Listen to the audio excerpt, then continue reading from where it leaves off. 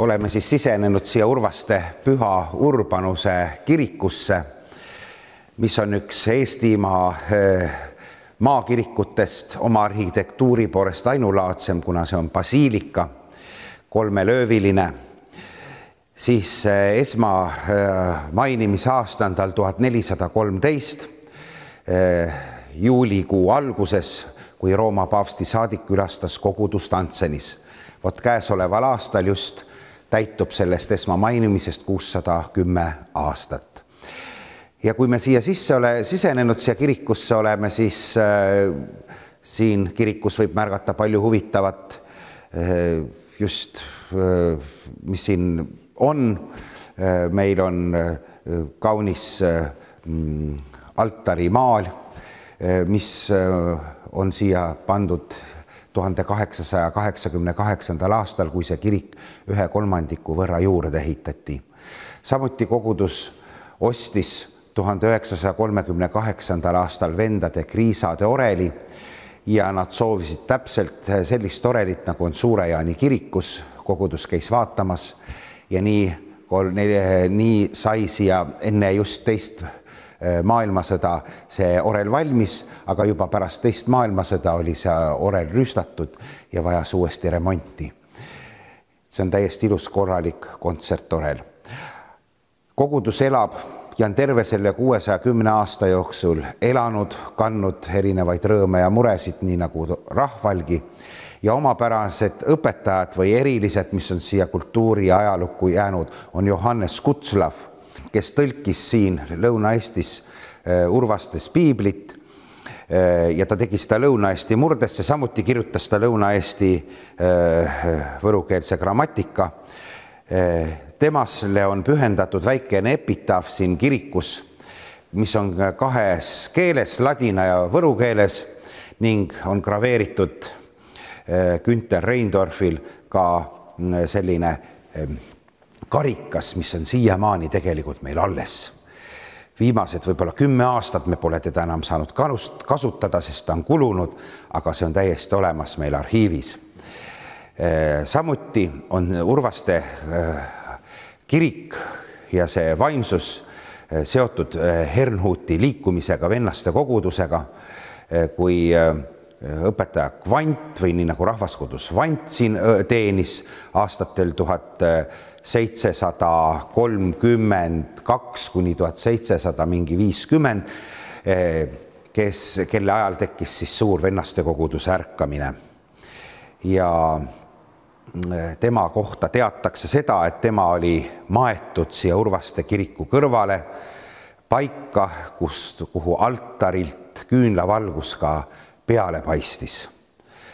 aga selline mm, vennaste koguduse vaim on säilinud tegelikult Urvastest tänini. kuigi see hakkab vaikselt hääbuma, aga meil on olemas ka üks vennaste koguduse palvemaja veel. samuti, mida saaks siin veel eh, Urvaste puhul mainida, on need mälestustahvlid, mis on nende seinte juures. Need on muidugi Nõukogude ajal, neid ei tohtinud olla Need lammutati, viidi välja, peideti ära, aga kui Eesti Vabariik taasiseseisvus, siis toodi nad siia kirikusse tagasi. Need on mälestustahvlid koguduse patroonidele, sest enne tuhat, kuni tuhande üheksasaja seitsmeteistkümnenda aastani öö, oli ju kirikus patroonide eestseisjad, pärast seda moodustati siis Eesti Vaba Rahvakirik.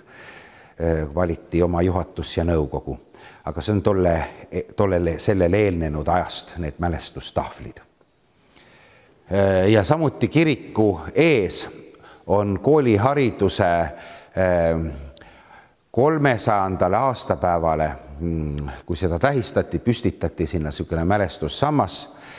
Äh, Urvastes oli ju oli üks kihelkonna esimesi või ütleme siinkandis esimesi koole aastast tuhat kuussada kaheksakümmend kaheksa.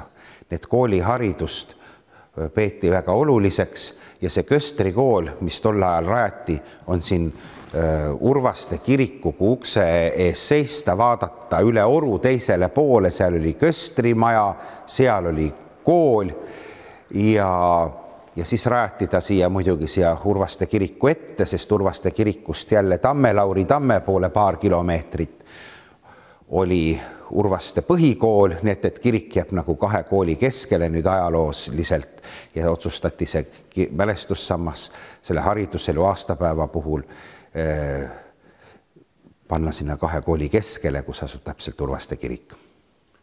Urvaste Tamme-Lauri tamm on väga vana tamm ja legend räägib sellest, kuidas üks Rootsi kuningas oli löönud ühe kepi maasse ja ütelnud, et kui see kepp kasvama hakkab, siis äh, ta, siis, siis äh, tuleb rahu. et, et nii niisuguseid legende on muidugi veel mitmeid, aga ta on hästi vana ja see Tamme-Lauri tamme vanust äh, dateeritakse nagu varasemaks veel kui Urvaste kiriku rajamist, nii et ta on Urvaste kirikust natukene ikkagi vanem puu ja ta on ümber mõõdud hästi suur. ja kuna ta on selline nagu sümbol Eestis, tamm on ju jõu ja väe sümbol, siis on, oli ta meil ka kümnekroonisel rahatähel.